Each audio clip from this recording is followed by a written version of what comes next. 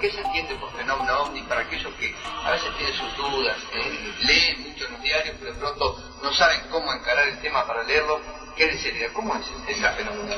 Por empezar, eh, ovni se le llama en el aspecto terráqueo, que quiere decir objeto volador no identificado. Pero en realidad para nosotros, los que estamos dentro de la temática, son objetos voladores perfectamente identificados. Pueden ser de origen intraterreno como pueden ser de origen extraterreno. Son naves con propulsiones y sustentaciones completamente distintas a las conocidas por los terráqueos. Se maneja la fuerza neutrínica, la fuerza dimensional y la energía fotónica. Claro, yo leí un poquito también hoy el tema que desafía la gravedad por un sistema centrífugo, ¿no es cierto? Eh, lo que permite desafiar todas las leyes físicas, todas las leyes físicas, es el hecho de que la nave en sí se envuelve en su propio campo magnético. Que lo que se ve en el firmamento cuando uno observa es el campo magnético, es esa luz azul, roja, violeta, naranja, pero no es la nave en sí la que se ve. Se ve el campo magnético. Eso permite, claro, eso permite dentro de la nave eliminar todos los tipos de fuerzas físicas conocidas. Por los terráqueos. Por los terráqueos. Las naves no se manejan como se manejan los aviones o las naves convencionales aéreas. No tienen mandos. Se manejan mentalmente y a través de la energía de las manos por imposición sobre tableros anatómicos. Eso hace que de cero se pueda arrancar violentamente a 30.000 kilómetros por hora, y doy un parámetro suave, en fracciones de segundos. Perdón, debe ser otra pregunta, ya que estamos hablando de velocidad de luz. Sí. ¿Qué pasa con la velocidad de luz? ¿Ellos desafían la velocidad de luz? La pasan, la pasan. Por eso hablé de energía fotónica. La energía fotónica es superior a la energía de la luz. Porque los fotones componen la luz. Componen la luz. Entonces ellos dominan eso y aparte lo tienen en el ambiente, lo tienen en el cosmos. Y la otra energía que es importantísima, porque es importantísima, que es la energía dimensional. Dimensional. Dimensional. Ellos pueden pasar al lomo de las dimensiones de una dimensión a otra. Nosotros en el planeta Tierra estamos en tercera dimensión. Nuestro campo vibracional es de tercera dimensión. Claro, yo le iba a preguntar también porque había leído algo con respecto al tema de las dimensiones. Algunos dicen, no, pero eso de que estamos en tercera dimensión, primera, segunda, ¿qué es la dimensión en ese sentido? La dimensión se basa en lo siguiente. Eh, ustedes me están viendo, me están oyendo, yo los veo, yo los oigo a ustedes acá, dentro de este estudio, porque nuestro campo molecular, nosotros somos un conjunto atómico. Exacto.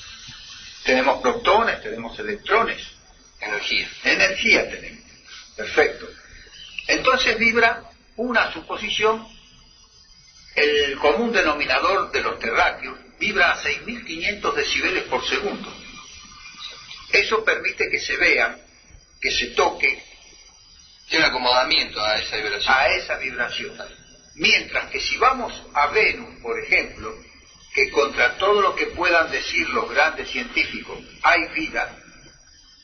Moléculas de agua leí que andaban dando vueltas. Están en sexta dimensión. Entonces, para verlos, para mantener un contacto, para vivir en su sistema, hay que elevarse a 60, 70 o 80 mil decibeles por segundo. ¿Estamos? Y la comunicación no es por sonido como somos nosotros, es por ondas mentales.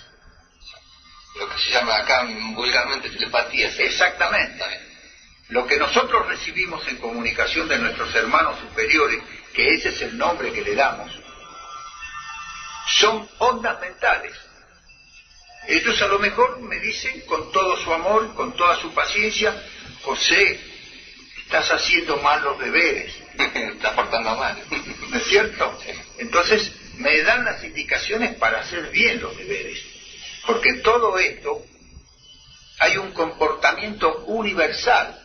Porque en el universo infinito existen, pese a lo que el conocimiento humano le pueda costar creer, un millón quinientos cincuenta mil planetas con vida inteligente. Y existen, y existen millones de soles como el nuestro. Sí, eso, sí, eso había leído. Claro.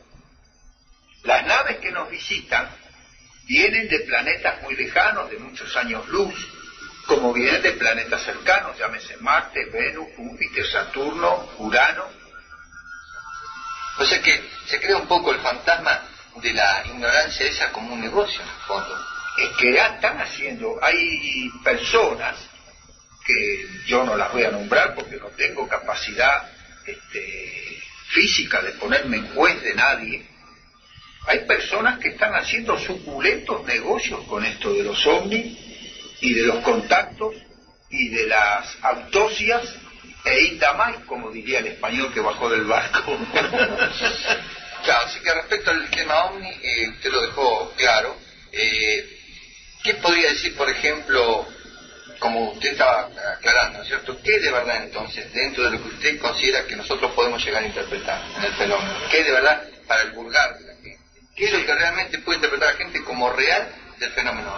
Claro, la gente por empezar no tiene que darle pábulo a los programas televisivos comunes, donde presentan películas de invasiones extraterrestres, donde presentan estrellamientos de naves extraterrestres, como este blef que están armando ahora de que cayó uno en Salta o cayó uno en Nigeria y se estrelló.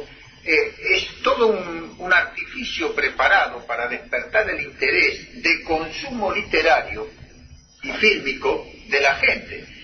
Hollywood ahora va a lanzar eh, una andanada de películas este, basado en la tecnología que dominan ellos sobre efectos especiales para, para el mercado de consumo en el mundo, no solamente en Norteamérica, sino en el mundo.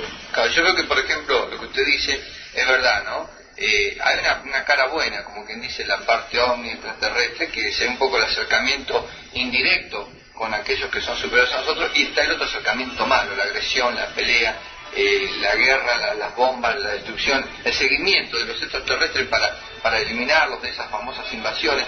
Ese es el gran problema que hay, ¿cierto? Y el problema es ese, por eso que nuestro servicio, nuestro servicio, porque yo no soy el único hombre en el planeta, hombre, pero hay mujeres también, que posee las verdades para poder manifestar al público que lo quiere escuchar sobre cómo nació este planeta, sobre cómo se pobló este planeta.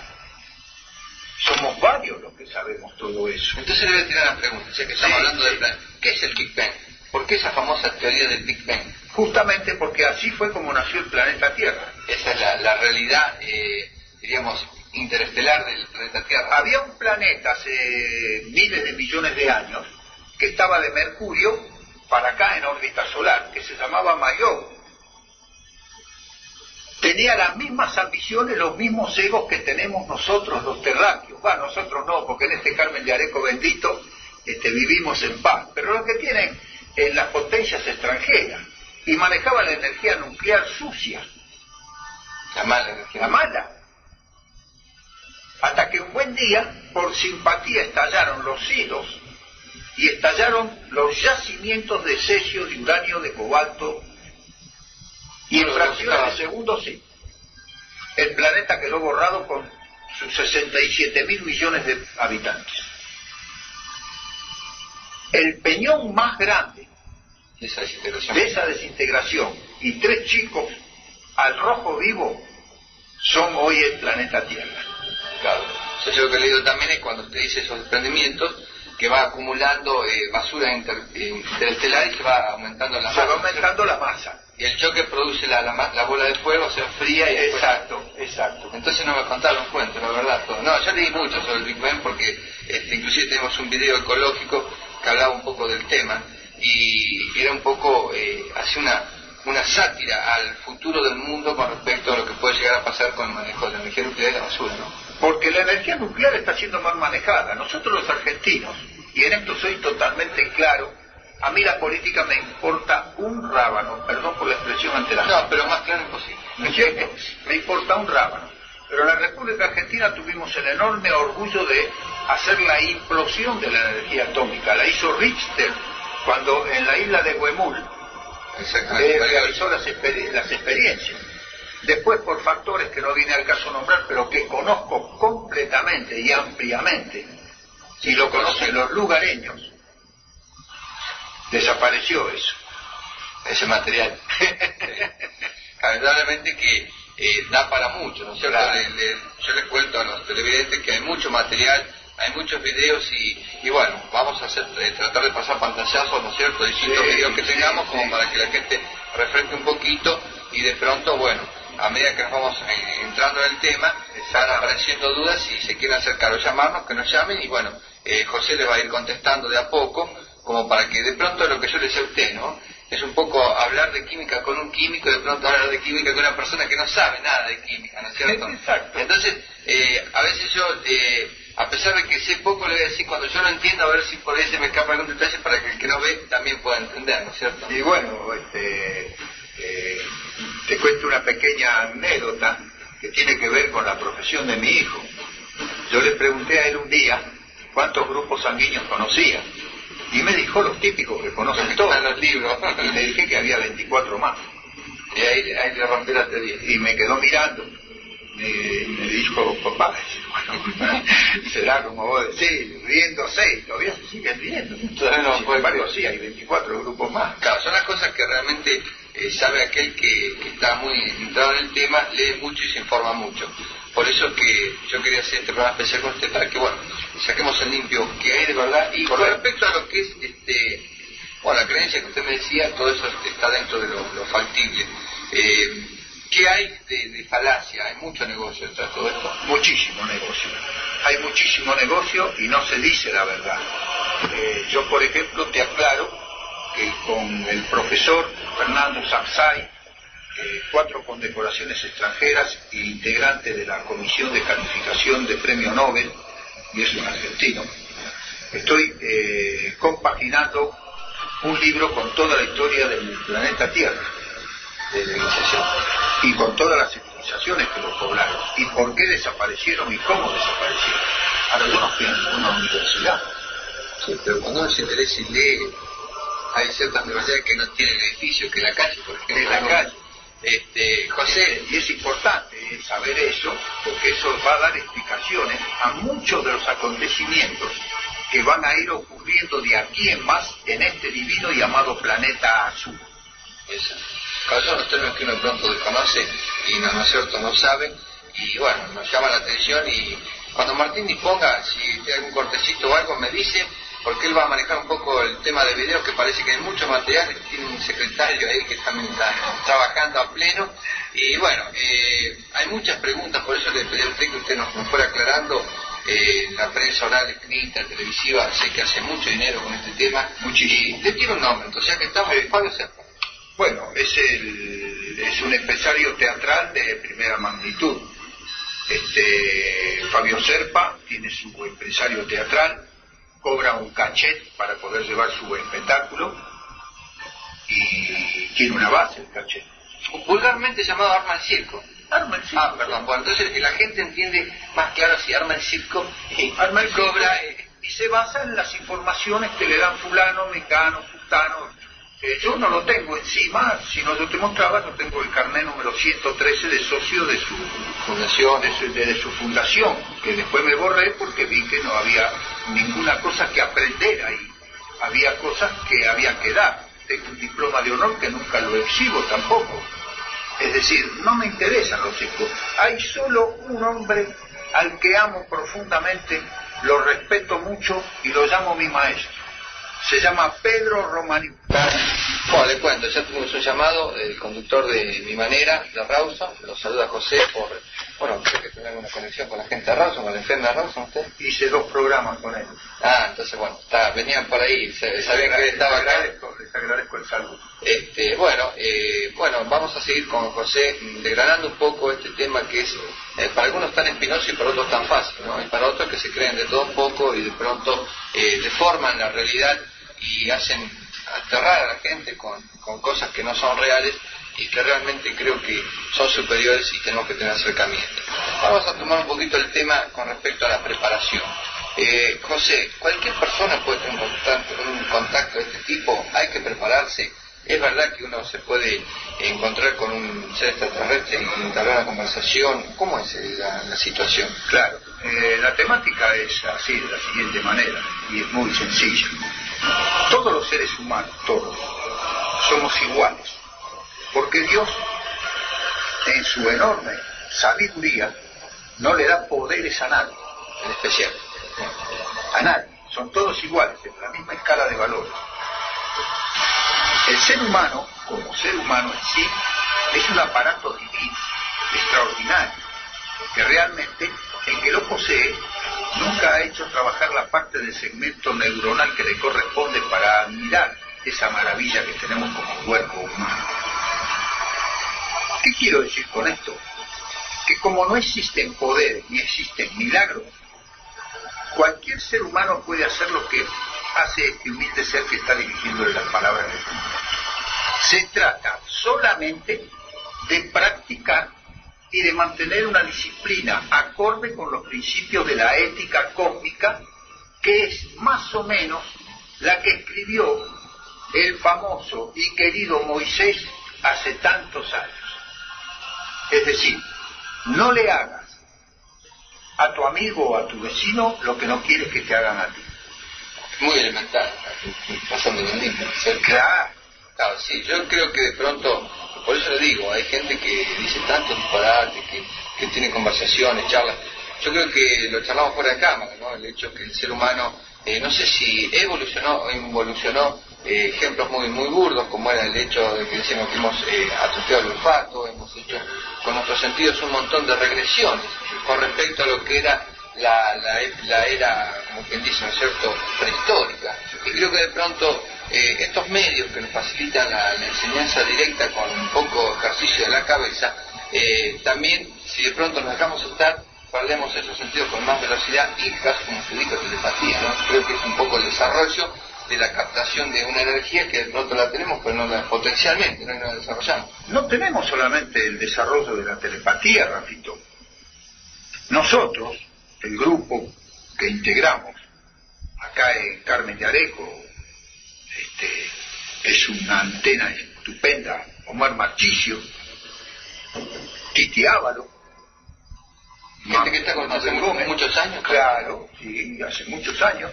Bueno, con ellos nosotros abrimos las palmas de las manos así y empezamos a caminar y buscamos el vórtice energético o el centro energético propicio para el contacto. Pero no es una primacía que tenemos nosotros porque somos elegidos. No, vuelvo a repetir, no somos elegidos. Mantenemos una línea de conducta ética, familiar y de amistad, tratando de no robarle el burro al amigo, porque el amigo necesita el burro para llevar la leña a su casa y calentar su hogar. Claro, pero es poco convicción también, ¿no es cierto? Mucha, mucha convicción. Casi el 80%. Sí, yo diría que sí, Sí, sí. Yo estoy este, imbuido y creo mucho en lo que digo porque lo practico y tengo los resultados. Y, y me autoanalizo permanentemente, es decir, no creo solamente, y no de ahora, no creo solamente en lo que estoy diciendo, lo analizo. Eso que estoy viendo allá, ¿qué es? ¿Es un ser? Puede ser. Me tapo los ojos, me doy vuelta, cuento a diez, vuelvo a girar, pienso en un plato de arroz con morrones y nuevamente fijo mi vista y mi mente en el objetivo y lo vuelvo a ver. Entonces, no es que estoy paranoico o se da un recreo, como que en esos sentidos, y lo vuelve a, y lo vuelve a Y esa técnica la desarrollan todos los que vienen a las clases que doy en forma permanente en mi domicilio. Por eso viene tanta gente de Buenos Aires, de distintos estamentos, porque hay una cosa que es fundamental. A mí no me interesa para esta labor que realizo ni el color de la piel, ni la calidad de sus vestidos, ni su religión. El tema político es El tema político es lo mismo. Claro, o sea que eh, con usted se incorpora gente curiosa y que tenga ganas de, de desarrollar ese, esa, esa capacidad. Esa capacidad. No se hace selección, no hay un, no hay un ingreso, como quien dice. No, no, no. Y aparte, justamente, tocaste una palabra que es sagrada dentro de esta temática. En todos los lugares que vos concurrís te dicen, sí, como no, no hay ningún problema, tiene que pagar 150 pesos de entrada y después son 20 pesos por mes. No, a sacar plata. Claro. En cambio, en mi casa, gracias a Dios, eh, con la hermosa y divina compañera que me tocó de esposa, ¿Qué consta? puertas abiertas, ahí entra todo el mundo, Todo transparente. Todo transparente. Ni ni y yo vivo de mi trabajo y de mi jubilación. Bueno, jubilación. Pero no es importante, cobro una jubilación de privilegio. Ah, bueno, bueno, no no hagas importa. correr la A ver si te van a pedir esta mañana. Este, entonces eso es importante para que la persona que va a aprender te tenga fe. Porque lo que hablábamos antes fuera de cámara, hay una falta de fe importantísima en la gente. Está muy descreída en muchos aspectos.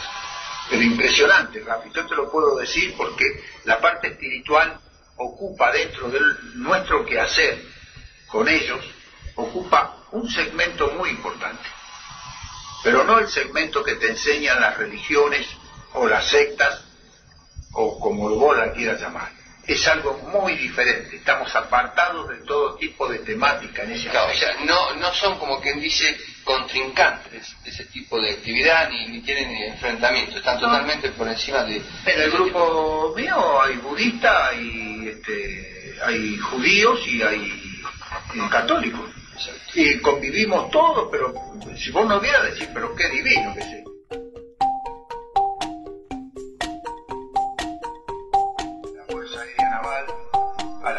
Aérea, a la Fuerza Aérea Militar, a la Fuerza Aérea de la Prefectura, es decir, cualquier hombre que vuele en máquinas convencionales está acostumbrado a ver objetos voladores que a veces los siguen y a veces los asustan. Lo que pasa es que hay orden muy terminante. El comandante Polanco, cuando reportó el contacto con esa nave, recién después dijo de que había tenido otro simil en Mendoza. Sí, eso es cierto. Y después está el caso del comandante de Gendarmería, que lamentablemente falleció. Claro. Había eh, todo esto también un, hecho bastante inédito, fue el corte de energía que sufrió la base de Bariloche, un Sí. poco de incertidumbre por algunos Sí. segundos, no sé si duró un minuto, para que la nave se ubicara, pudiera aterrizar, o sea que realmente fue eh, conmovedor, ¿no es cierto? No, fue, fue de, de una magnitud muy importante. Ellos lo único que hicieron, utilizando los medios este, científicos que posee, no cortar la línea de vuelo ni tampoco todos los sistemas electrónicos de la nave de aerolínea. Porque tuvo un corte de, de Pero muy leve, ¿no? pero muy leve. Se muy leve. los controles, ¿qué pasó? Sí, generalmente se enloquecen con el campo magnético Se de las naves, se pierden. Eh, se enloquecen las agujas, en una palabra. Claro. Sí, eso es lo que le, comentaba hoy, ¿no? De pronto, Sí. con la energía que llevan esas naves en un acercamiento tan eh, evidente como fue este, no, no, no, no engendra en la gente misma algún problema, ¿no? Eh, no, natural. Aparte, el oscurecimiento que se produjo en Bariloche, eh, no debemos olvidarnos de lo que ocurrió en Nueva York hace ya varios años, donde el paso de una flotilla de ovnis oscureció Nueva York por un tiempo bastante importante. Ah, También ya hay Sí, sí, no, eso sí. Este, claro, en, en esto fue lo que realmente la gente creo que la terminó de convencer de que hay. Y después ocurrió el caso de Putralcó, ¿Cuál fue el de otro ovni que se apareció ahí y que salieron las fotos, este, que la gente eh, se mostró sorprendida por la presencia de la nave a baja altura. Y los elementos que tenemos nosotros en la Tierra, como son las películas fotográficas, los videos, eh, el material, ¿tiene sensibilidad suficiente como para captar ese fenómeno? Sí, y no hace falta que tenga una cantidad de asas impresionante. Y se, se, se captan y la explicación es sencillísima. Energía. Es energía. Claro, sí. Y la energía se plasma en la película. Por eso decía, de pronto eh, la gente no, no entiende, entonces uno trata de decir a usted que nos explique cómo es para, porque el tema de la sensibilidad del material... No, no, no. Esa película que yo te facilité por primera vez, que está filmada a la mitad en la puerta de mi casa y la otra mitad en el balneario. Si ese material le vamos a decir a Martín que también bueno, eso, lo vamos a tener para pasar. Esa película es una película común y silvestre. Bueno, ahora vamos a un caso que conmovió no solamente a Argentina, sino creo que el mundo, ya sea por lo espectacular, por lo fantasioso por lo que tiene, ¿verdad? El caso Roswell, que yo le comenté a usted, que fue la famosa autopsia. Eh, yo le pediría a Martín que si tiene un poco en, en, punta, busque un poquito, ¿no es cierto? Porque este material sabemos que no se puede pasar porque están hechas las reservas del, del material, con un montón de, derechos que se pagan, pero bueno, es simplemente, nosotros no vamos a hacer un programa con, e, con ese material en sí, sino lo vamos a tomar como un gráfico, como un elemento de, de orientación a la gente para que nos siga lo que estamos charlando. Entonces, bueno, eh, ¿qué pasó, José? ¿Fue real los Roswell? Eh, las, las personas que hicieron la autopsia, ¿qué, pasó? Porque nosotros vimos por ese programa que hizo eh, un, este, prestigioso de la, de la pantalla chica como, fue, como es Bravo, ¿no es cierto? Entonces, quería saber si realmente el chequeo de esa información es veraz o no. No, no tiene nada de veracidad y me baso en puntos importante. El testigo sí es veraz. Lo que yo le conté que le hizo. Sí, el testigo. es veraz, pero lo que el testigo vio fue la información que nosotros teníamos ya en nuestro poder hace ya, calculo yo, no quiero mentir, ¿no? pero calculo más de cinco años que teníamos esa información, que al efectuarse la autopsia de los cadáveres, este, no tenían aparato digestivo, sino que tenían un pequeño tubo que terminaba a la altura del estómago, no había genitales, no había esfínter. eso se recalcó mucho en el tema. Claro, este, era completamente distinto, aparte era una cabeza grande para poder, este, esa cabeza grande era con la finalidad de poder alojar a la computadora que tenía alojada ahí con sus creadores. Es decir, era un robot. Claro, lo que usted me estaba diciendo, que en el fondo era un robot. Es un robot, son, robots. Esos, esas naves nosotros las tenemos identificadas como bimanas. Bimanas. Y las tripulan generalmente hasta un máximo de seis o siete tripulantes. Este, generalmente robots. ¿Y qué es lo que hacen? Sistemas exploratorios o sea, tipo, como quien dice, un poco así, eh, si hay algún peligro de que la nave se estrelle o se pierda, no, se ponga en juego ningún material ningún especial. material especial. Y no haga daño tampoco. No haga daño tampoco. Que no sea una explosión, algo así monstruoso. Yo lo que leí del fenómeno Roswell, que le comenté a usted, es que este señor, de muy joven, presenció la, la precipitación de esa nave, con esas famosas rajaduras, que los humanoides, como están viendo en pantalla, estaban a un costado de la nave, que algunos gemían, tenían un sonido muy especial, había tres que no se movían, uno que estaba con un cierto movimiento, este, la nave estaba muy fría, el material tenía características muy particulares para la época, este hombre se asomó por esa grita que se hizo en la nave, todos los, controles eran de unas características para esa época espectaculares, y bueno, debe haber sido horas hasta que llegó la, Fuerza Aérea, no sé qué fuerza fue la que los este, invitó en forma violenta a retirarse y sin tener ningún tipo de explicación. Le dijo, bueno, esto se olvidaron, esto fue una fantasía, acá no, no pasó nada. Este señor durante 40 años mantuvo un silencio, como, como era un sueño de noche. Y bueno, parece que todo esto lo llevó a volver a hacer testimonio, en fin, y parece que se le hizo hipnosis y recordó con precisión todo lo que pasó. Sí, no, no, lo que él dice es real, pero lo que no es real es la burla la burda autopsia, sí, la burda autopsia del supuesto cadáver, que no es ni más ni menos que un muñeco de neopreno, si quiere. Sí, sí. La cabeza, por empezar, no guarda similitud con la del, este, con la del humanoide. que, realmente es así. Porque por empezar, la cabeza de, este que le están haciendo la, la autopsia tiene una nariz con tarique nasal mientras que el humanoide no la tiene. El humanoide tiene dos orificios, nada más. Y después tiene este, pantallas auditivas este, y el humanoide no las tiene. Después que otro detalle más también se le cuestionaba este video con respecto a la gente que rodea esta autopsia. Sí, se le cuestiona eh, si yo estuve en la Fuerza Aérea Naval en la época de la última guerra mundial y puedo decir fehacientemente que un camarógrafo, un camarógrafo de la Fuerza Aérea no va a cometer los errores que cometía este supuesto camarógrafo elegido por dos generales. Ah, elegido. Sí. Llama risa. Y después, los dos supuestos médicos que realizan la autopsia y deben de ser dos enfermeros que están practicando para algo ahí. Haciendo un poco la pantomima. Sí, sí, sí. Después hay otra cosa que es fundamental. Ese cadáver, ese supuesto cadáver, vos en eso tenés más nociones este, de medicina que yo. Ese supuesto cadáver estuvo en la congeladora de la morgue un tiempo determinado. ¿Cómo puede ser posible que salga ese líquido parecido al plasma del cadáver cuando lo cortan?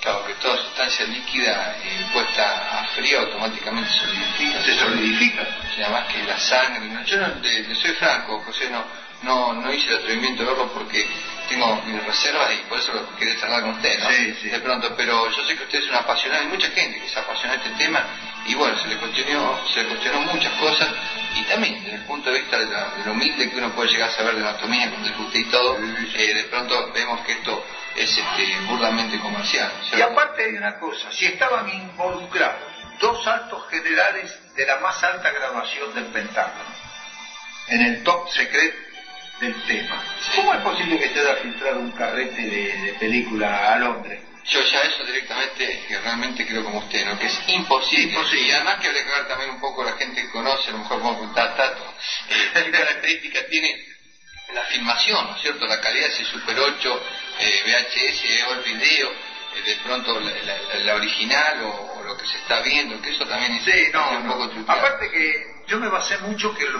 la verdad para mí como argentino un orgullo que haya estado ese doctor Camarota, creo que se llama, el médico que estaba al lado de Fernando Bravo. Sí.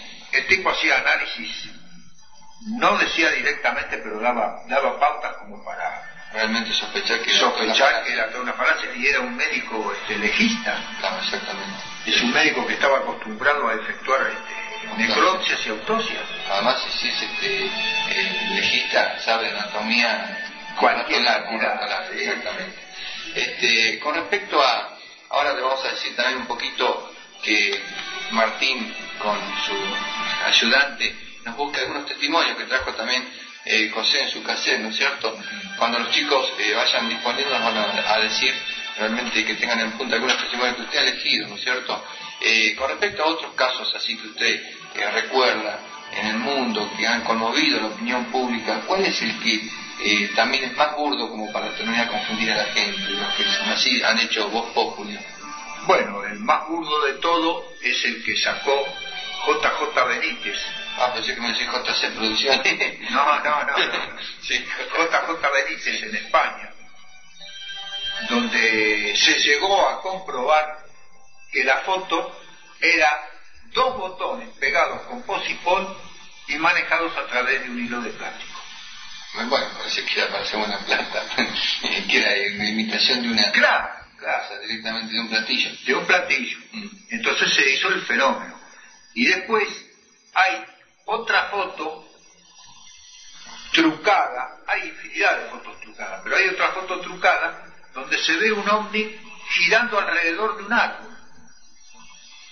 Sí, lo que leía también el caso de, la, de, las curvas que hacen, lo que realizan, los giros que pegan, que son perpendiculares, que se da por ese fenómeno de antigravedad que producen, ¿no es cierto? Esos son muy característicos. No, las naves, las naves reales, las naves reales debido justamente a lo que te manifesté en el primer bloque, al tener su propio campo magnético, esa cáscara de huevo del campo magnético permite que en el interior de la nave no, existe, no exista ningún tipo de fuerza este, física. Entonces el individuo puede ir avanzando a 300.000 kilómetros por hora y efectuar un desplazamiento en un ángulo directo, un ángulo recto ascendente o descendente y el tripulante no siente nada. Está totalmente aislado. Está totalmente aislado. Eh, yo digo, por ejemplo, ¿usted cree que el hombre podrá llegar a través de lo físico alcanzar la velocidad de la luz? Apuré un poco con la pregunta. No, no. Yo siempre digo que No, realmente el día que... No, no me apuraste, pero te la voy a contestar en forma eh, fehaciente. No va a tener tiempo. Estamos en los pasos de lo que yo pienso. Con respecto a- al cerebro, ¿no? la gran incógnita del hombre durante toda su vida es el cerebro. ¿Usted cree que se va a poder llegar a develar la- lo intrínseco del cerebro como para que el hombre pueda llegar a, a manejar eh, lo que es el, el interior, los misterios del cerebro? ¿Podemos llegar a conocerlo perfectamente bien al cerebro? Estamos en la misma respuesta de la, de la anterior. O sea que bueno, eh, algunas señas, parece que tenemos algunos testimonios ya en, en el video, así que cuando Martín disponga, usted después José lo comenta y hacemos alguna, algún agregado que corresponda para que la gente eh, realmente hoy se haga una fiesta de ovnis y pueda llegar a sacar algo en limpio que, bueno, es muy importante que alguien de acá nos, nos, nos dé esta, esta clase, ¿no es cierto? Así Bueno. que Martín cuando disponga después lo, lo, lo charlamos con José.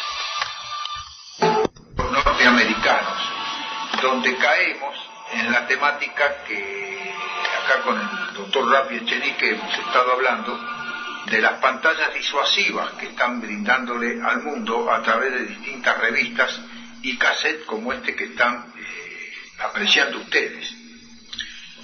No se puede decir lo mismo del cassette que han estado viendo anteriormente, que fue filmado acá en Carmen de Areco, que justamente Carmen de Areco es uno de los vórtices energéticos más importantes del cono sur y sus habitantes no lo saben. Acá ha habido, hay y habrá muchos avistamientos y mucho ingreso y salida de naves de los dos tipos, intraterrenas y extraterrestres. El vórtice principal de Carmen de Areco está ubicado en su epicentro central en el balneario de esta hermosa y divina ciudad que me toca convivir con ustedes, en su isla. Los vórtices energéticos emanan su energía en forma de espiral ascendente y la regresan en forma de espiral descendente. Eso permite que las naves formen su propia puerta sendra. La puerta sendra, por nosotros, todos los que estamos en este tema, conocemos, es la puerta dimensional. Si, por ejemplo, cuando los americanos y los rusos mandan sus naves fuera de la órbita terrestre, pudieran tener su propia puerta sendra, no tendrían que revestir con placas especiales a sus naves, porque la fricción desaparecería y podrían entrar por donde ellos crean su campo de ingreso y de egreso. No lo pueden detectar. ¿Eh? No lo pueden detectar. No lo pueden detectar. Estamos comunicados con las principales ciudades etéreas del planeta, desde aquí, desde Carmen de Areco. Acá hay muchos vecinos que han tenido experiencias sin necesidad de estar en el grupo que yo integro. Acá hay vecinos que en la madrugada, en la noche, han vivido la experi- experiencia de una nave a muy corta distancia de donde ellos estaban. Esos vecinos tienen nombre y apellido, los respeto, pero les digo que es hora de que empiecen a hablar. Son personas creíbles, son personas sanas. Hay otras personas que han tenido experiencias más espeluznantes que el avistaje. Ahí tenemos, eh, José, lo que usted nos decía, ¿no es cierto? Bueno, esto fue filmado en la puerta de mi casa. Sí. Explíquelo usted que fue el que lo captó. Claro, eso no está filmado con un zoom, sino que es la nave que se aleja y se acerca. Sí, con una velocidad realmente Claro. asombrosa que es imposible lograr con un zoom. No se puede. Porque de deformación y ah, Justamente. Aparte que nosotros hemos detenido la cámara en una, en una exposición de este video en mi domicilio, cuando la nave se acercaba y le hemos visto la estructura metálica perfectamente. A través de la imagen. A través de la imagen. Pero más notable es el show que nos brindan ellos gratuitamente en el balneario. Claro, dijo que esto era parte y la otra parte... La, la otra parte está filmada en el balneario. Y voy a aclarar una cosa, que aquí viene la parte linda. No van a cobrar entrada. No, no cobramos entrada. El hombre que filmó esto sí. no lo veía. Ah, bueno, ahí ya directamente. El visor se lo marcaba. Claro. Sea que era como energía pura. Pura. No había más. Otra dimensión. Y cuando llegamos al balneario, me dijo, se llama Jorge Retrivi, es un apasionado de la fotografía. Me dijo, José, no hay nada para filmar. Y entonces levanté la vista, miré y le dije, sí, filmá, toma el mangrullo y aquel pino y empecé a filmar que tenés un, espectáculo digno de filmar. Y justamente es un show, se mezclan, se cruzan las energías, las naves, es impresionante lo que hace. o sea que realmente hay que estar muy preparado por lo que veo. La verdad sí. La verdad sí. Este, así que en Carmen de entonces tenemos el fenómeno ovni a, como quien dice, a nuestras manos y claro. Lo que pasa que lo que pasa que acá no ha tomado trascendencia, querido Rafi, querida teleaudiencia. Es necesario que lo sepan. Claro, eso, eso es lo importante, porque que una cosa así no ha tomado trascendencia porque personalmente soy muy celoso de este pueblo, de esta ciudad. Y si le damos trascendencia va a pasar lo que pasa en otros lados. Que le también. Y vienen los vendedores, vienen los mercachifles. Y dejamos de tener la pureza de la inocencia real de los hechos que acontecen. Ahí vemos como de pronto la energía parece que se intensifica y, se, y se diluye, ¿no? Sí, Con una velocidad realmente espeluznante. Sí. Este, que pienso que será interpretado así, ¿no? es así, es así. Este, y con respecto al tema balneario, ¿cómo usted fue a dar con esa zona y la determina y la delimita, con lo que usted me está diciendo con respecto a eh, dónde se engendra la entrada y salida de naves? Claro. Este, a través de la investigación de la fenomenología OVNI y a través de que el grupo pasó a integrarlo Mabel y Titi Ávalo, empezamos a enterarnos de cosas que ocurrían en el balneario. Exacto. Entonces, ahí está, eso está firmado en el balneario. Exacto, esa imagen del balneario. Sí. Eso que usted decía de las naves que estaban este, entre el mangrullo y el exacto, ¿cierto? Exacto. Bueno, y entonces empezamos a ir al balneario. En aquel entonces iba acompañándome Omar Marchicio, Eusebio Lescano, el desaparecido amigo, Jorge Rodríguez y la esposa, Rosita Ricomini, y empezamos a estudiar y a determinar las pautas que marcaban que ahí pasaba algo diferente que en otros lados. ¿Se ejercitaron ustedes para ir? Hasta que un día hace muchos años ya de esto, recibimos un mensaje que nos teníamos que preparar fulano y mecano y teníamos que ir al cruce de caminos viejo de allá en Flur, donde estaba eh, la estación de servicio de Terovich, vieja. Atrás de la Sí. Este, y bueno, fuimos las personas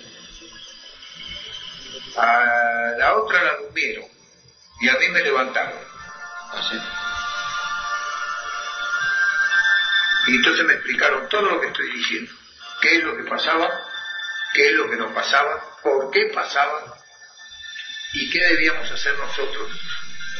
Para que esto tuviera la seriedad que debe tener. Claro. gente de Buenos Aires que está en, la temática suya, ¿lo han llamado, le han preguntado por el tema del fenómeno Carmen del Eco o es celoso usted de lo que sabe de Carmen del Eco? No, justamente, acá venía en una época, hace muchos años, venía Dante Franch, muy conocido dentro de la, de la temática OVNI, que es el cabeza de la, de la Fundación FUPEC y un día sacó un artículo en la revista Flash, donde ponía mi nombre y decía Carmen de Areco. ¿Y más? Le corté los víveres porque empezaron a llover, que no te imaginabas llover los que venían, se puso nerviosa mi señora, se caían chorritos de todo tipo. Sí, los que queremos el librito, la bata. Y entonces, sí, nos reunimos, dijimos, cortamos con todo, se acabó el grupo FUPE, se acabó todo, listo. Y bueno, nos hemos mantenido muy unidos en eso y mantenemos una seriedad y mantenemos una línea de conducta acorde con lo que ellos, nuestros hermanos superiores, esperan de nosotros. De a poco se van a ir dando conociendo. Dentro de poco tiempo, no va a pasar mucho, va a haber un avistaje muy grande acá en casa. Importante. De mucha envergadura. El sábado, en la meditación de encuentro que tuvimos en la quinta de un ser que quiero mucho, acá en Carmen Yareco, este, todas las personas presenciaron una nave de un porte impresionante. Yo calculo, sin temor a equivocarme, y que me perdonen los televidentes, pero voy a explicar el tema, que era más grande que la ciudad de Buenos Aires. Era una nave madre. Hay naves madres que son más grandes que la ciudad de Buenos Aires, que tienen varios pisos donde están preparadas para albergar cientos de miles de personas. Qué dimensión para ver, ¿no? que es muy difícil. Bueno, hace poco este, el inglés este Carl Sagan reconocieron lo que nosotros veníamos diciendo, de que Alfa Centauro no era una estrella. Me están haciendo la señal. Creo que tenemos eh, una opinión de Carl Sagan que, bueno, vamos a también a, a incorporar testimonios de gente que no sé, creo que corresponde el respeto, ya que son físicos este, escollantes, ¿no es cierto? Cuando Martín disponga, si quiere, lo ponemos a Carl Sagan, como dijimos, la historia de él, ¿no? La, parte científica de este señor. ¿Diverso? Bien, decir, pensar sería demasiado. Eh, si, si uno ve cuántos otros mundos hay, eh, cuántas estrellas en la Vía Láctea, cuán probable es que muchas de ellas sean planetas y cuántas otras galaxias hay, sería el colmo de la arrogancia humana imaginarse que este planeta es el único mundo habitado. Al mismo tiempo, no sabemos si hay vida en otro mundo. Estamos en los primeros pasos de la exploración y no encontramos vida en ningún otro lado.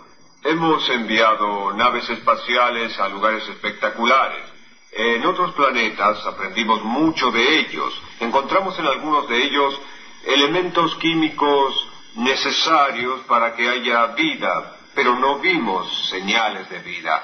También usamos eh, telescopios radiales para ver si alguien trata de enviarnos un mensaje de radio, pero hasta ahora no hemos logrado encontrar vida en otra parte.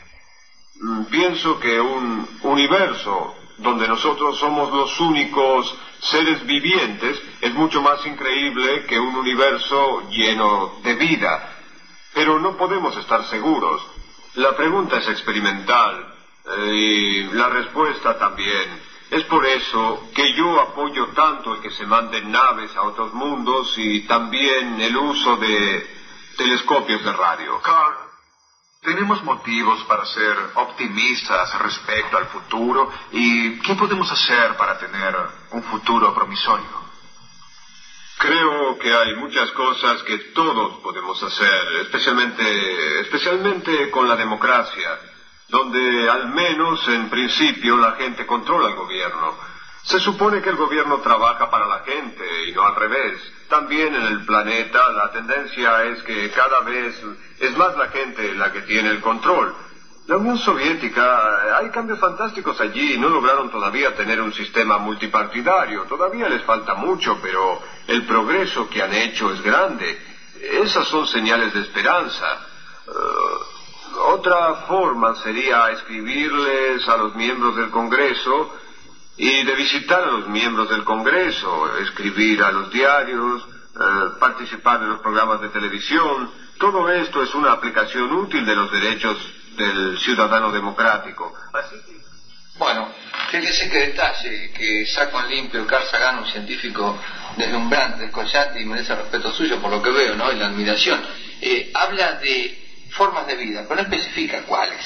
Indudablemente que eh, nosotros cuando hablamos de forma de vida eh, son las formas de vida que nosotros conocemos o tenemos en nuestra dimensión, ¿no?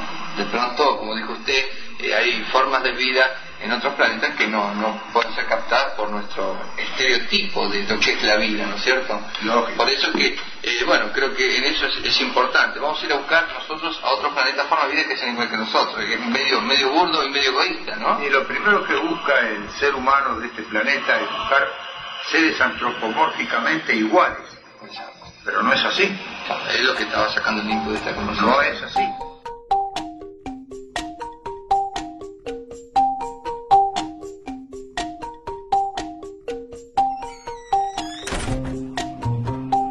No tiene regresión, pero de pronto tiene una forma de soportarla mejor y, sobrellevarla y de pronto, bueno, no sé hasta qué punto a veces la energía que esa misma persona genera a pesar de la enfermedad no la lleva a, vivir muchísimos años más, ¿no es cierto? Sí, vive tranquilamente. Ahora puntualmente, el caso de energía, ¿cómo es? ¿Cómo se maneja usted con la energía? ¿Genera energía? ¿Son dínamos? Eh, ¿Tienen alguna vibración especial? ¿Esa conducta que ustedes desarrollan les permite? Sí, sí, sí. Vos calculás, yo te dije anteriormente, este, que como un denominador de la gente, vibra a 6.500 eh, decibeles por segundo.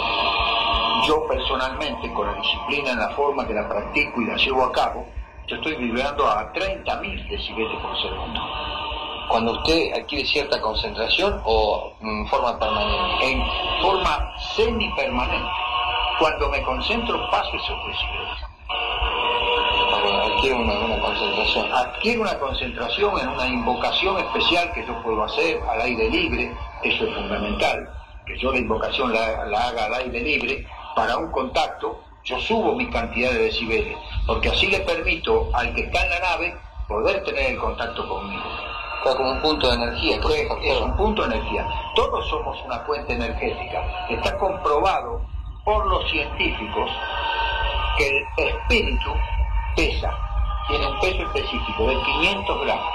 Inclusive se ha fotografiado la famosa aura, aura sí, sí. en el momento post-muerte. Que se eh, corta el cordón de plata y energéticamente hace un destello de luz este, que ha sido fotografiado a través de, sistemas de, mucha capacidad de sensibilidad, ¿no es cierto? Entonces, esa energía que tenemos, este, no la saben aprovechar la mayoría de la gente. Porque decimos son la, falta de desarrollo de los sentidos. Entonces tenemos que desarrollar, entonces vamos a tener lo que normalmente conocemos a través de los parapsicólogos, la evidencia, que podemos ver en dimensiones diferentes, podemos ver el aura de la gente, ¿Se puede llegar a, observar? Sí, se observa perfectamente el aura de la gente y se puede saber si está contento, si está triste, si está enfermo o, está sano. Claro, también eh, yo leí un artículo una vez con respecto al, tema de lágrimas, ¿no? Que las lágrimas de alegría tienen un pH que la gente no, no entiende, pero es una forma de, medir este, el sabor o como que dice, para que la gente entienda, ¿no? De acuerdo al gusto que tiene esa lágrima sería el estado de ánimo que tiene la persona. Exactamente, exactamente. Las lágrimas de dolor no son igual que las de risa, ¿cierto? No son. Creo que poco por Y pasa todo por la energía. Porque como tu cuerpo tiene protones y tiene electrones, también te permite desaparecer y aparecer da capacidad para eso. Sí, señor. Y los que me siguen te pueden dar fe de que es así, porque yo lo hago. Capacidad para Y para teletransportarte a distancia. Por eso son famosos. La otra vez, también hace más o menos dos meses, creo que fue en el sur, ¿se acuerda? Una persona que se un momento de total desaparición y bueno, no sé, quedó la camioneta, tuvo que venir caminando, tuvo una confusión mental pobre que, que hasta él mismo no se creía lo que había visto. Claro, pero lo que pasa es que el que lo puede hacer a voluntad no tiene que ser payaso. tiene que captarlo para él. Lo tiene que captar para él y no tiene que hacer un show. Es, ese hecho de no ser payaso, como dice usted, de pronto, de captarlo, ¿es para hacer una repetición como una contraprueba? Exacto. O sea que si se hace repetición con contraprueba y da positivo como el antidoping, Este. es que está en, en conexión y en vibración. Exacto. Sí, generalmente esta gente aparece, yo que noto que aparece, ¿no es cierto? No es si monta o yo, se asusta, que le puede pasar a cualquiera, y de pronto no aparece más, no dice yo soy el que la otra vez me pasó tal cosa. O se, se recontra, convence, o realmente eh, Para. o se asusta. O sea, no, no sabría interpretarlo. Bueno, eh, si no tienen conocimiento, lo más fácil de todo es que se asusten. Claro. Si no tienen conocimiento. Ahora, si tienen conocimiento, entonces saben que están manejándose bien, pero no tienen que hacer un show de ese conocimiento. Porque así como se logró dominarlo, así también se va a perder. se pierde, claro. Con respecto a lo que le pregunté hoy también, bueno, ya que estamos en tema, eh, por lo que veo usted dice que hay que prepararse. La Tierra, ¿qué está haciendo para tomar contacto? ¿Se está haciendo algo? ¿Los radares que yo le pregunté? Eh, ¿Hay algún manejo de, señales, algún código, algo? Eh, yo lo veo como dice usted, ¿no? Que es un poco colectivo, que hace una comunicación como si fuera, este, qué sé yo, Argentina con Brasil, hacer un poco de fiesta, porque es así, ¿cómo, ¿cómo se maneja eso?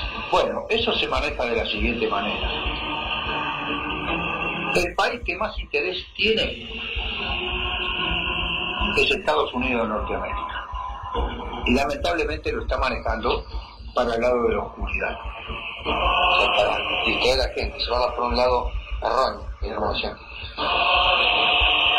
La información puede llegar por muchos canales, puede llegar por muchas vías, pero nunca va a llegar por los medios idóneos que tendrían que llegar. Como una filtración científica sería primero. Exacto. Ese es el tema. Y todos hablan de extraterrestre. Si fenómeno que no manejan los terrestres. Claro. Pero nadie habla de lo que el famoso almirante inglés, eh, norteamericano, Richard Beale, descubrió en el Polo Sur nuestro.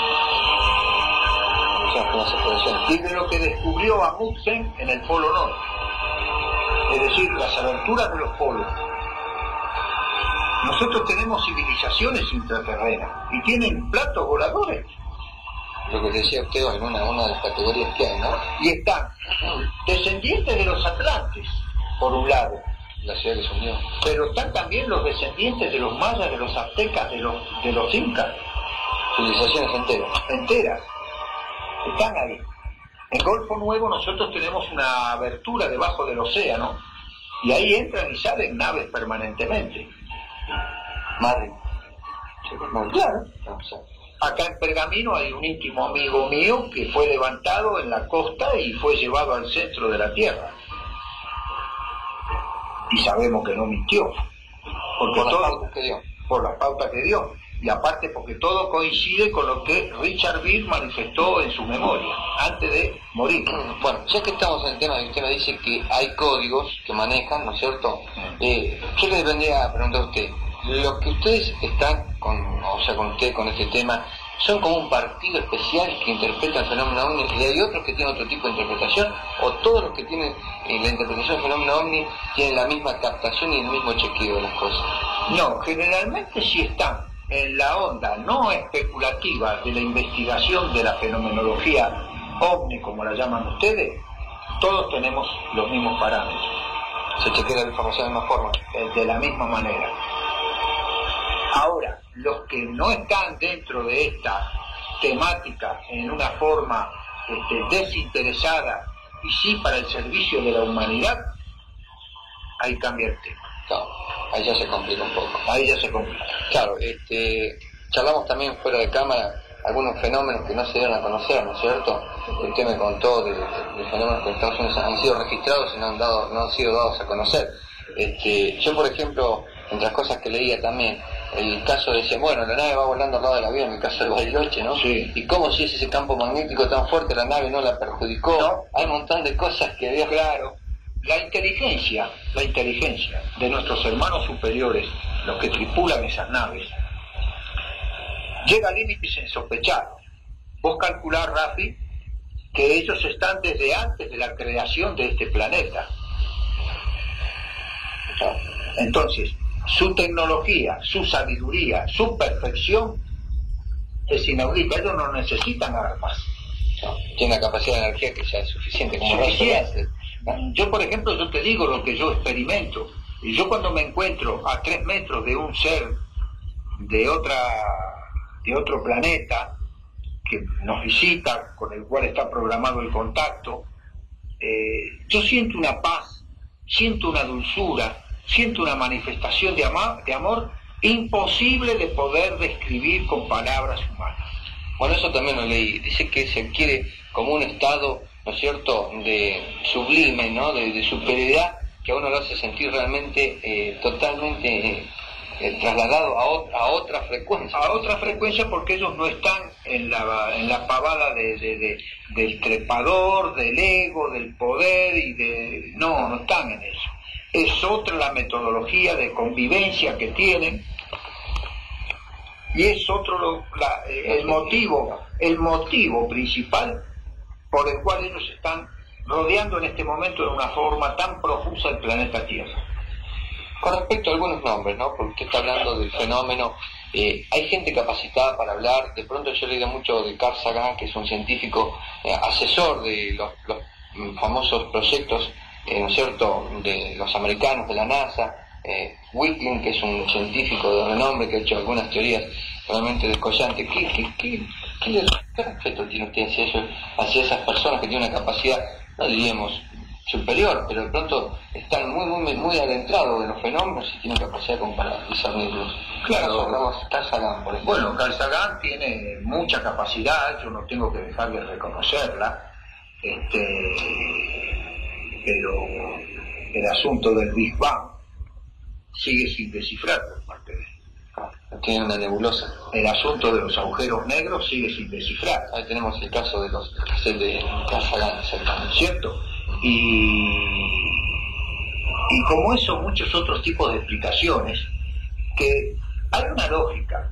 El individuo que cerebralmente fue formado en una universidad se maneja con parámetros completamente distintos a los que me puedo manejar yo, que yo no tengo nada más que un humilde secundario nocturno de mi época. es un poco como si usted dice que el conocimiento lo encajona.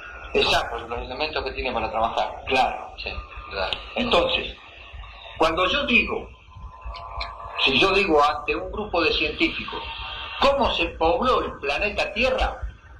Se miran entre ellos, se hablan y llaman al manicomio. Dice Don Lago. Don Lago, perdió la hoja. Perdió la hoja. Sí, perdió la hoja. Perdió la hoja. Con respecto a Simut, por ejemplo, que era un futurólogo que sabía escribir unas novelas muy interesantes.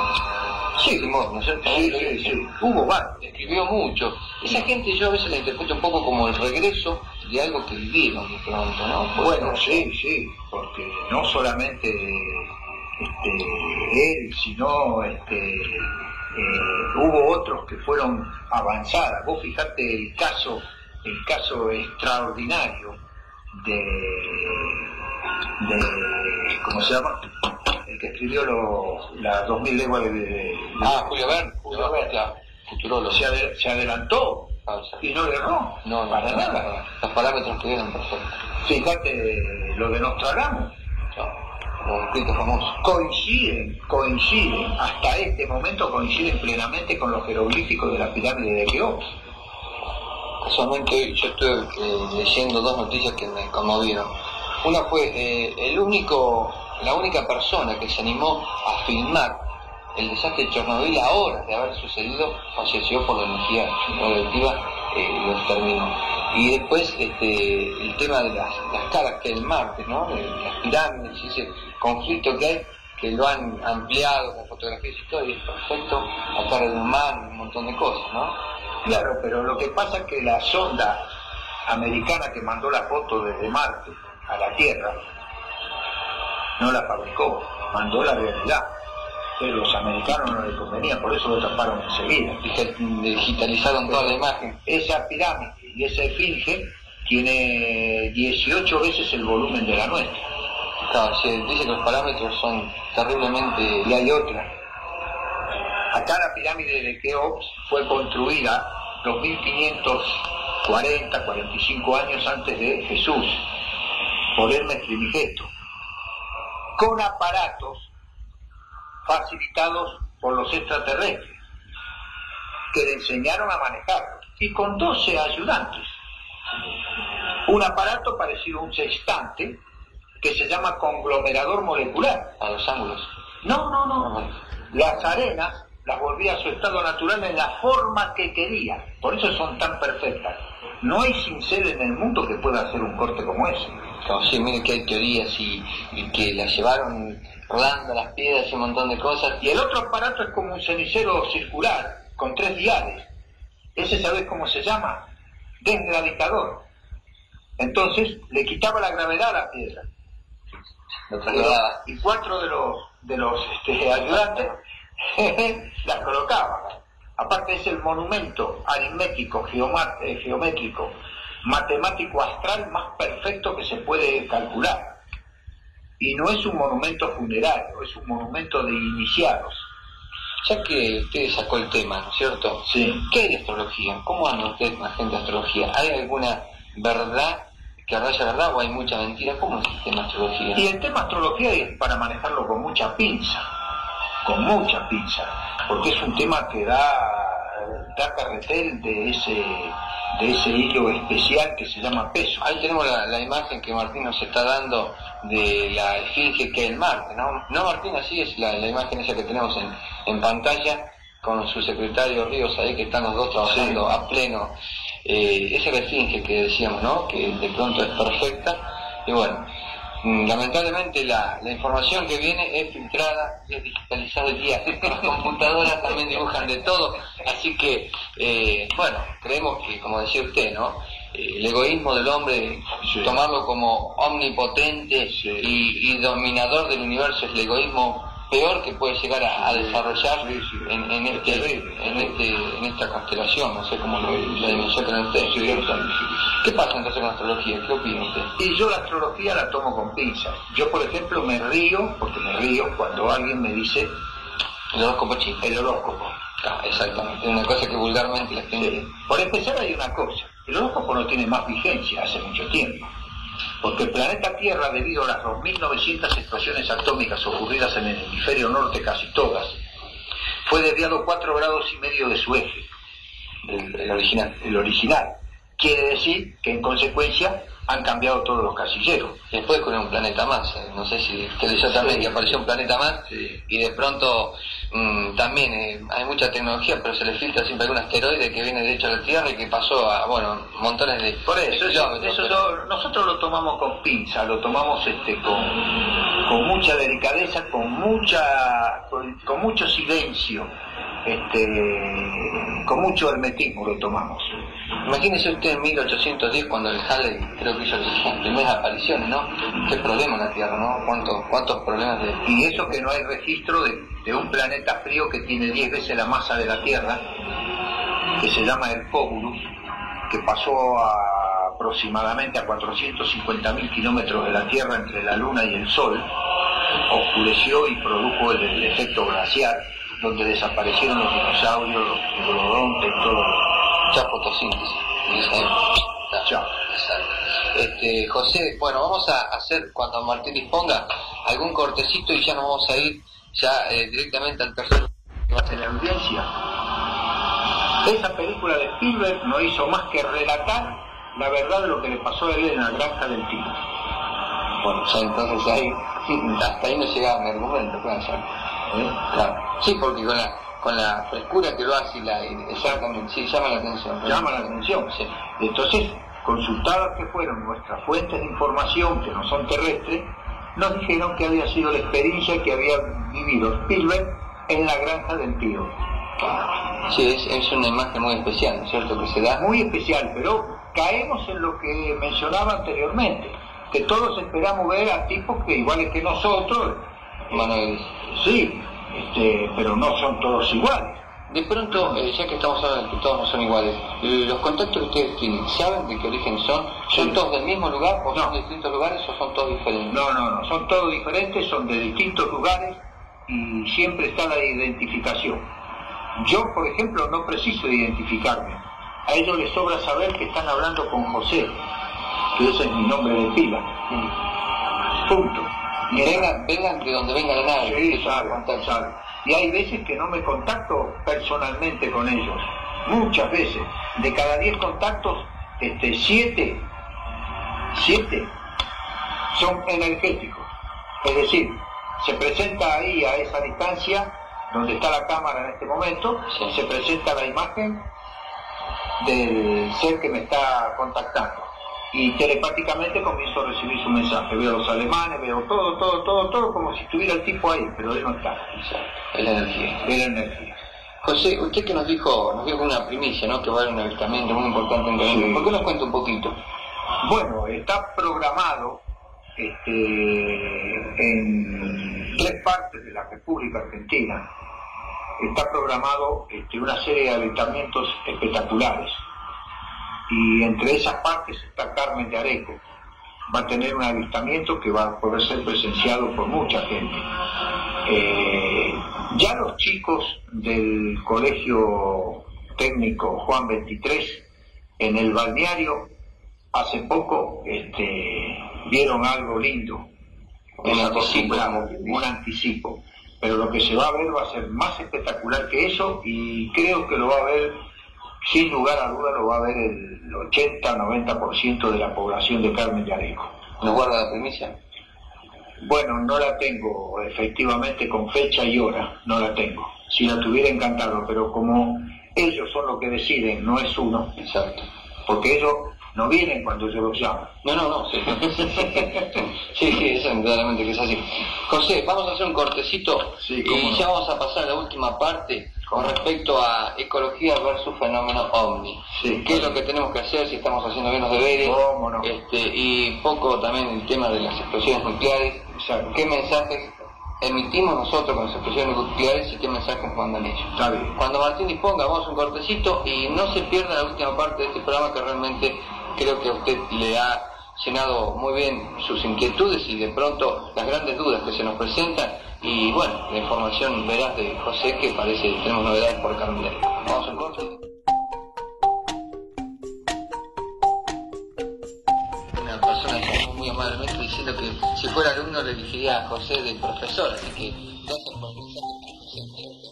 Eh, tuyo nuestro de parte de José que es como quien dice el medio que, que nos conecta por su capacidad de interpretación del fenómeno ovni, ¿no es Sí, pero aparte hay un hecho notable en todas estas cosas. Cuando una persona o varias personas tienen que ver un ovni, que se queden tranquilos, que desde la nave le mandan la influencia mental para que levante la cabeza y lo mire. O sea que es como un, como un, un haz de energía que le dan, Ni más ni menos. Así que que se queden tranquilos, no hay, no hay ningún problema. lo van a ver. Pero yo no poseo fechas porque no tengo capacidad de poder saber las determinaciones de nuestros hermanos superiores este, que comandan la flota galáctica que nos rodea. Además que es un circo, es lindo que esto sea... Es una cadena. Claro, la cadena, eh, lo que Es una cadena. Por eso que los ovnis tienen mucho que ver con la ecología este, y nosotros tenemos que empezar a preocuparnos por la ecología en el planeta. En nuestro pueblo tenemos que mirar el chico que tira el papel a la vereda, decirle de buenas maneras, sin retarlo, levantarlo, ir acostumbrándolo, porque mañana ese papel va a tener contaminación y no va a servir, servir para ser reciclado como tendría que ser reciclado. Estamos enviando a los arroyos desechos químicos. Esos desechos químicos al final de la postre van a parar al océano. El océano ya no es más lo que era. ¿Ustedes se acuerdan de la fragata inglesa que fue hundida por el avión argentino? Sí. Bueno, eso es algo, pues, eh, no, Harley eran los aviones que tenían ellos, no, la Sheffield, ¿eh? Sheffield con energía atómica, sí, con un Sí. cajón de energía atómica. Sí, está todavía. Está al sur, con ¿Eh? la base del mar. Dice que estaba muy bien protegida y todo, pero sí, pero está ahí. Nosotros acá en la República Argentina tenemos lugares donde hay desechos radioactivos. Sí, el famoso basurero de, de Hatley, o sea, bueno, que son Entonces, polémica eso. ayudemos con lo pequeño, ayudemos con lo poco, seamos este, solidarios Y no pensemos solamente en nosotros, pensemos en nuestros hijos, en nuestros nietos, en nuestros vecinos, en nuestros amigos. No tiremos desechos contaminantes a la cloaca. No tiremos desechos contaminantes donde no debemos hacerlo. José, yo lo ayudo con una reflexión. Eh, nosotros sabemos que Argentina se tiene que proyectar al mundo por el famoso tema de carnes contaminadas y un montón de cosas. Argentina está en el puesto número uno del mundo con respecto a la carne ecológica, la leche ecológica, porque es un país que no ha sido explotado en su real dimensión con respecto a otros países de Europa. Tenemos un lugar de privilegio y eso eh, tendría que hacerse carne en la gente y decir, bueno, esta va a ser la herencia que vamos a dejar a los que vengan detrás nuestro, un país limpio, con tierras limpias, con aguas limpias, y que va a ser tal vez la salida económica más brillante que puede tener Argentina con respecto a lo que es el mercado común europeo, lo que es Estados Unidos. Eso es potencialmente la mejor herencia que se le puede dejar a los chicos en el futuro, apoyando lo que usted dice, ¿no es cierto? Exactamente, exactamente. Eh, y a los chicos hay que enseñarle lo que vos dijiste en una de tus audiciones, que me encantó muchísimo, sobre el uso de las pilas descargadas. Que no tienen Tipo envase. Sí, Sí, es un proyecto que hay de, de cambio de- del tema de pilas, ¿no es De cierto? Usted pilas, entrega sí. la pila y dan pilas nuevas.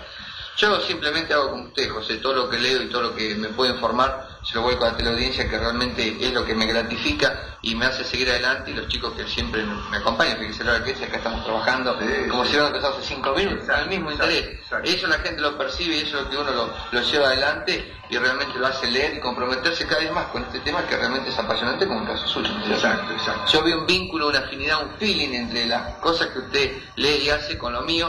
Y bueno, por eso le pregunté, ¿hay relación? Sí, bueno, si la hay, ya mismo estamos, como que dicen, mezclando las cartas para hacer un partido, ¿no es cierto? Este, Está bien, y está yo bien. creo que eh, uno insiste mucho, pero no en vano. Eh, puede ser la mejor herencia que le podamos dejar a los que vienen tras nuestro sin hacer ningún esfuerzo, simplemente leyendo, cultivándonos, prestando atención, siendo un poquito menos egoísta y bueno, eh, dejar que la basura deje de ser basura para que pase a la historia de la basura, ¿no es cierto? Exactamente. que es uno de los dramas de la humanidad y de, este- de esta política neoliberal donde todo tiene que venir envasado, todo tiene que... O sea, creo que un poco el egoísmo de decir, bueno, yo tengo que comprar esto con estas condiciones de sanidad y todo, es lo que nos lleva a producir semejante cantidad de basura. ¿no es terrible, es terrible. Este, por suerte tenemos eh, en Carmen del Eco el orgullo de decir que tenemos Tambo Ecológico, que realmente sé que cumple con las pautas, y creo que tenemos un, un futuro prominente con respecto a lo que es la, la- la cultura de la ecología, porque nuestras tierras, gracias a Dios, hasta ahora, con respecto al mundo, están vírgenes, ¿no es cierto, José? Sí, sí. Así que creo que tenemos que luchar. Y lo que usted decía de las muertes, el caso de la pirámide, de los consumidores, que la gente de pronto no entiende, pero los chicos que leen primer año, eh, leen los libros de biología, es un poco como quien dice, si usted hace una explosión nuclear, como la de que fue el caso de Francia, y los tiburones no mueren, pero si usted mata el fitoplancton, el zooplancton, que son el, el elemento básico de la vida en el mar, no creo que los que están más arriba como las ballenas puedan llegar a vivir más de dos o tres años No, porque no van a encontrar alimento. No, no. Y de pronto el poco alimento que hay va a estar contaminado. Sí. Así que la, la proyección que se hace del futuro con respecto a estos temas son realmente catastróficas. Creo que tenemos que sentarnos un poquito y decir, bueno, paremos como quien dice y, y bueno, este, no amedrantarnos en la lucha por el poder, sino amedrantarnos por la lucha de la ecología. de la ecología y hacer fuerza para que la ecología sea un hecho real. Eh, lamentablemente nunca fui autorizado a sacar una foto este, de las naves por dentro, pero ahí no vas a encontrar ningún tipo de basurita. No ¿eh? creo que haya papeles adentro. No, papeles por empezar no hay porque no se usan, Exacto. no se conocen, pero no hay ningún tipo de desperdicio. Claro, yo creo que tenemos que mentalizarnos y empezar de nuevo. Yo siempre digo, chicos, no es cuestión de leer un tratado de ecología así, grandes libros, sino decir, bueno, empezamos por casa, no tiremos los papelitos en el piso, hagamos un hábito de eso, de las pequeñas cosas, y después este, realmente eh, ya empezamos con un poquito más arriba, como quien dice, escalando, ¿no es cierto?, hasta llegar Vamos escalando. Pienso que a la cúspide nunca se llega porque siempre se presentan nuevos problemas como son las nuevas enfermedades, los mutantes. El otro día estaba leyendo las nuevas enfermedades que aparecieron. Así que no sé, me, hace enseña que hay algo de material como para pasar. Así que cuando Martín disponga, vamos a dar un poquito de libertad a los chicos que están trabajando mucho para que nos muestren imágenes. Usted, José, que es el, el como quien dice, el relator de, de este tema, nos, haga interpretación de lo que vamos a ver. Cuando vos disponga, Martín, eh, largás las, las imágenes, pues José las interpreta. Según testimonios de personas que aseguran haber tenido encuentros cercanos del tercer tipo, la explicación de los extraterrestres a este fenómeno es la siguiente.